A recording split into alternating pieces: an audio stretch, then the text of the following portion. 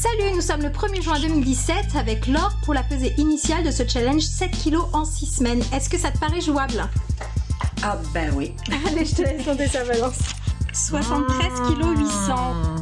Salut, nous sommes le 13 juillet avec Laure pour la pesée finale de ce challenge 7 kg en 6 semaines. Ton poids initial était de 73 kg 800.